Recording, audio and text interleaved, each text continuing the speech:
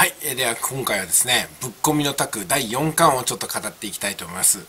前回ですね3巻の終わりで主人公のタクちゃんがですねこうバイクで海にこうレースでバーッと飛び込んじゃったんですよ。で海の中にジャーンと落ちてもしかして死んじゃったんじゃないかなというふうに思われたんですけどもまあどっこい生きてるわけなんですよ。でそのチキンレースの根性を買われてまあ翌日ですかねタクちゃんは仲間がねもうみんな気を利かしてバイクを作ってくれるんですよ。それがですねわずか数時間でガラクタから組み上げてしまうというスーパーバイクオタクっぷりでですね 本当かこれはみたいな感じなんですけどまあとにもかくにもタクちゃんはみんなの気持ちが集まったバイクを作ってもらうってことになったと。でバイクがガンとねできたわけなんですよ。さあタクちゃんのねえ新しいスタートでございます。これで暴走族の仲間にもまあ認められてですねバイクも与えられて新しい出発だっていうところなんですけどもこれがですねその浅川拓この主人公のタクちゃんね。タクちゃんはなんかいじめられっ子で気が弱くってでも強くなりてえって気持ちがあってね。最初に一巻で秀人君っていう横浜下道のね秀人君というのに出会うわけなんですけどもなんかそれからねいろんな暴走族のリーダー格の人に目をかけられてでここまで来たわけなんですけどもその一つにねなんかそのみんなのバイク乗りの憧れの地域にいるカリスマたるねその誠くんっていうのがいるんですよね。この誠くんはある日バイクで死んでしまうんですよ。でその死んでしまういきさつはこれから出てくるんですけども伏線となってあるんですけどもいろんな方に誠くんがすごくね慕われてたのが漫画の随所随所で出てくるんですよね。で今回うんその浅川拓っていう主人公が誠くんに似てるんじゃないかなってことでいろんな方がねこの浅川拓を見ながらその伝説の誠くんをちょっとね思い出すみたいなシーンがあるんですよ。まあだからそれがね運よく浅川拓ちゃんみたいなのの魅力とかね人を引きつける何かになってるんではないかなっていうふうに読者は感じざるを得ないんですよね。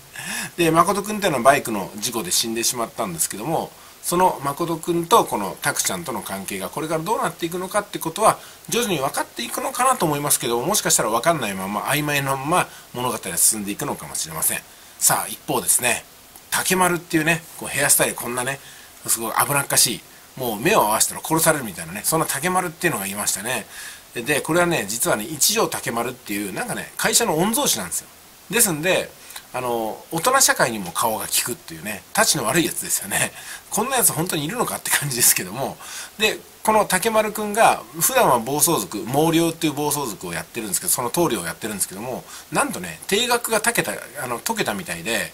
学校に来るシーンが4巻には描かれてるんですよ。でそれまではね竹丸っていうのはどっか別の学校のやつかなと思ってたんですけどなんとねあのこの青蘭学園だったかな。この浅川拓が転校した先の同じ学校なんですよ。だから麻婆君もいる学校なんですよ。さあ竹丸が帰ってきてこれからバトルロワイヤルが行われるのかなってころですけども竹丸君が再登校してきた初日にですね学校時代噂してるんですけども遅刻した拓ちゃんと鉢合わせするのが朝のシーンで出てきます。鉢合わせしてどうなるのかなと思ったら一条竹丸は浅川拓のこと全く無視で気づきもしないみたいなね。そんな感じでございました。それで拓ちゃんはなんとか命を拾うわけなんですけどもさあこの竹丸くんね一体何しに学校に来るんでしょうね。ただ自分の暴走族のその手下を見つけに来るのかそれともただ暴れたいだけなのか、まあ、当時の学校事情は分かんないですよね。でも一応カバンを持ってくるしみんなしてね授業を真面目に一応ね机について授業を聞いてるんですよ。何なんですかねこいつらはね。本当に。まあ学校っていう舞台でいろんな人が集まる。そこで出会う。そこで本来はあの本番の舞台っていうのは皆さんねバイクの上とか夜の世界にあるんじゃないかなっていうところがありますけどもうんまあこの辺はね全然漫画の中で語られてないんで先生も何ぼか出てくるんですけどね印象に残る先生っていうのは今のところありません。みんなね手を焼いて困ってビビって生徒にはなかなか関わってこない。そんな先生のちょっと日和見事情が出てくるんですけどもしかしたらねえー、どっかで体育教師が幅を利かせるような人が出てくるのかもしれないですね。分かんないですけどね。うん、まあ、そんなところでねこの4巻の前半は終わっていったということでございます。それでは後半の解説も続けていきますけどもこれからどうなっていくのかもう一回読み込みながらねまたお話していこうかと思います。うん。まあアキラさんっていうね女性もなかなかキーポイントなんですよね。なんかよくわかんない人ですねこの。でもヘアスタイルがすごいです当時って感じでしょ。あれこれ本当にいましたからね私が中学高校の時こういうヘアスタイルの女性っていうのは、うん、男性はやっぱりリーゼント多かったですね。私も当然してましたけどもね、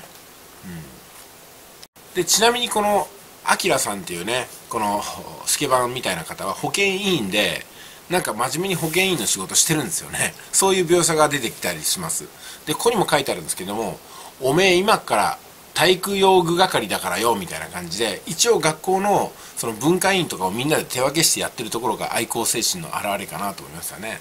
大体ねその暴走族関係とか突っ張ってるやつらって自分の学校に、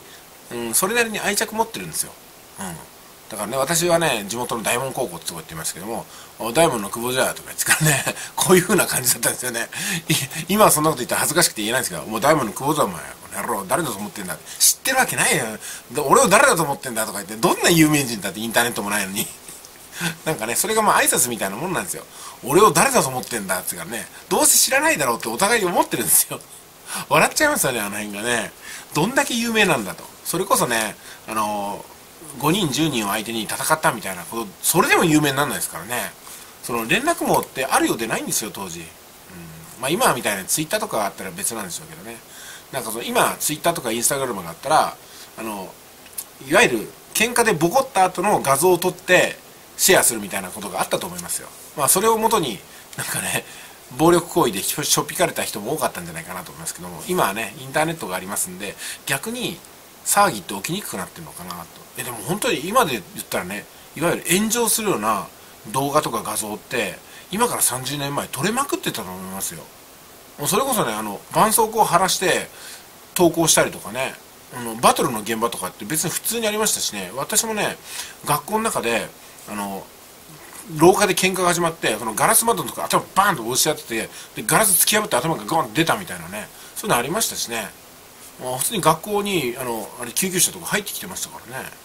よく警察さんなんなかったなと。だから暴力行為が校内で行われていて公然とあってですね。それを先生も見てるし用務員さんも見てるし生徒も見てるしっていう環境なのに完全に障害ですよこれ。でも 全然そのまんま終わっていたし親御さんも殴り込んでこないしね。どんな時代だったんだと思いますよね、うん、まあでも校内暴力があった時代からだんだんだんだん収束していってあこれから徐々におとなしくなっていくんだなっていう風な雰囲気はありましたね、うん、だからだんだん年々ね騒ぎは抑えられていってこれもだから学校関係者の方のご尽力なのかいわゆる、ね、突っ張って怖いやつらがモテなくなってきたっていうのがあるんですよ圧倒的にだから女の子がちょっとちょい悪の、あのー、クラスのね突っ張ってるやつらに憧れる時代から別の方にシフトしてきたんじゃないですかね。あいわゆるトレンディードラマのおかげだと思いますこれは。私が高校の時はトレンディードラマがもう全盛期でしたからね。だからおしゃれでヘアスタイルはサイドバックでこうねこっち上げてこっち下ろすみたいなあれがむちゃくちゃ流行ってたんですよあれが。まあまあそんな感じですね。なんか爽やかで気のいい男が持っていていてちょっとねナイフで切れるようなやつはもうダサくなってきた時代なんですよ。だから暴走族に入ってるとか関係することがどっちかっていうともう口はばかれるようなね。うんだからあいつ族に入ってるらしいよ。ダッサーとかっこ悪い近寄らんとこみたいな感じで女の子には汚い汚いもの扱いされてた時代の始まりだったかなと思います、まあ、ですんでねだんだん漫画の中の世界だけになっていたっていうのを当時感じました。実際だからこういうの見てねそんなやつはいねえよみたいなシーンばっかりですよ。当時でも。当時でもですよ。今はもう完全にこれなんかロールプレイングゲームかファンタジーの世界の漫画じゃないかなっていう風なねそんな錯覚さえ覚えますね。はい。で4巻の後半なんですけども竜也っていうのとねあと竜也ってここに傷が大きくあったやつがいるでしょ。もう名前がだんだん覚えられなくなってくるんですけども竜也っていうのと竹丸っていうのがねこうトイレで怠慢張るんですよ。怠慢をしてるところにたまたまその前からうんこをしてたタクちゃんがののんきに出てくるんですよね。そこで巻き込まれながらなんとか逃げ出すんですけどもなんとですねその怠慢ほんと殺し合いみたいに行われるんですよ。で結構長いんですよね。この後半のほとんどがその竜也と竹丸の 喧嘩になってるんですけどもどっちかが死ぬまでやるんじゃないかみたいな迫力で書かれるのはいいんですけどもそれほどの騒ぎがああった途中でですね。なんか総会長ワニブチっていう名前が学校で噂されるところがたまに点々と出てくるんですよね。そしてそのワニブチってやつがまた出てくるんだろうなと思ったらなんとその怠慢をしているトイレのタクちゃんがうんこをしてた隣でさらに隣でワニブチ会長もうんこをしてたんですよね。でタバコを食いながらなんか騒がしいなって出てきてみんなで鉢合わせするみたいなところでこのストーリーが終わるんですよね。でこのワニブチっていうやつがねまたね悪そうで怖そうなんですよ。でこの後わかるんですけどもこのワニブチってやつはなんとね